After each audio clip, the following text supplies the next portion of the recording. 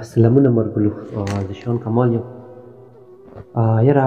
زه خو په دې خبرې پوه نه شوم چې موږ په څه خېټه معاشره کې ژوند کوو موږ ځان ته څنګه مسلمانه وایو موږ ځان ته څنګه یایو چې موږ انسانیان یو زه په دې کې حیران یم که بیا ایمو المنځونو ته سوچ وکی ایمو عملونو ته سوچ وکی غاټی غوټی دعوی کوو چه مو مسلمان یو مو د قران منونکی یو مو د اهل بیتو منونکی یو مو د رسول منونکی یو مو څنګه منونکی یو زه خیران پاتی یم څه دسی مشری کی مو اوسو دسی مشری کی مو ژوند کوو په څاغي مشرۍ کې نه ایمو ذات په آمد نیمو ژوند په آمد نیمو زندګۍ تیروله په آمد هیڅ یای مو محفوظ نه دي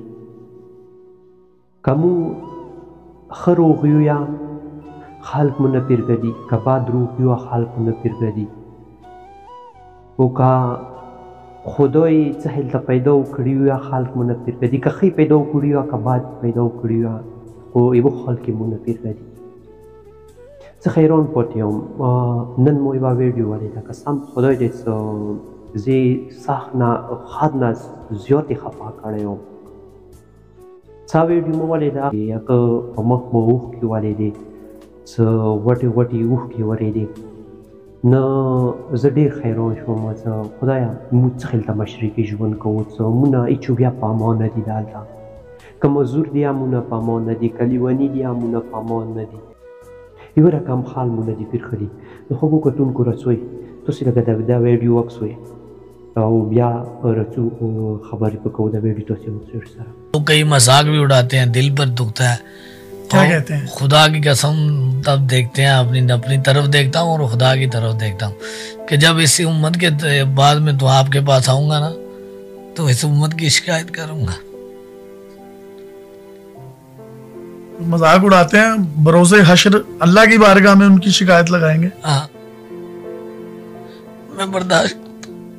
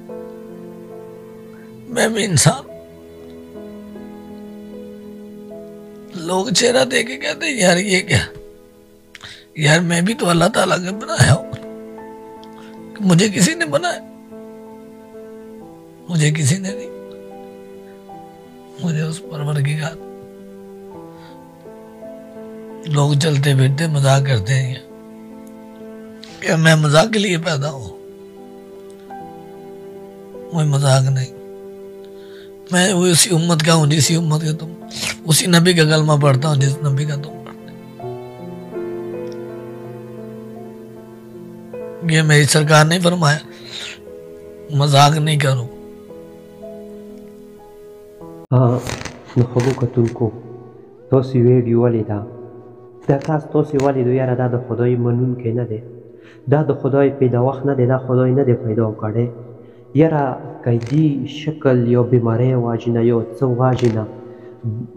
مختلف شوی دی مونه حسن یې نشته یاره بس خدای مو پاره پیدا کړ دی چې یاره موی مزه خوړه وکړو موی دی بیزتی وکړو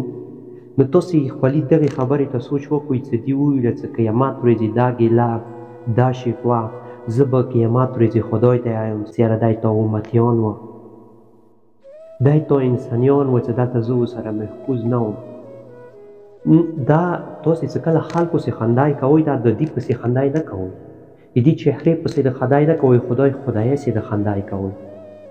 دا د تاسې خدای پسې خاندي دا خدای جوړ کړی دی څه څه خال کې جوړ کړی دی خدای جوړ کړی دی ښه خو ښه نه شو کوی یوه روپۍ دوې روپۍ ښه خو ښه نه اوسه کوئ دي بېزتي دي عزت تاسې وړاو کوئ دي مذاق تاسې وړاو کوئ خو منه او منه څه دا شوندې به تو نیا کېږي یو د ورور یو د زوا یو د لور پیدا او کېږي سی هغه زندګي ای هغه به ایزا تا شوندې وړو او کېږي جې سر کروګې وې صبر وکې احسان کې بدله احسان ہے ژوند کې که ښه کاوي نه ښه به درسره کېږي که باد کوي باد به کېږي د خوږو کتونکو یو ریکویسټ درته کوم هېڅکله د انسان مذاق مه وړاو کوئ د تاسې مذاق به اندسې وړاو کېږي نو خوږو کتونکو اخيره کې بيا د تيا يو څه کله چو سره خم نه شوي کوي با دې ما کوي زندګي کې يو قنون جوړ کوي اکثار کوشش کوي چې چو سره خه وا کوي خو څه خه نه شوي کوي هغه بې عزتي هغه سره بات هيڅ کله ما کوي نو خوږو کتونکو دا وا زموږ نن ويډيو په دې تمه چې تاسو ته به خوښه شوي نو ما کوم موزې شان کمال ته راوکړي بلې ويډيو پورې اجازات د لوی الله په امان په مخ ميخه.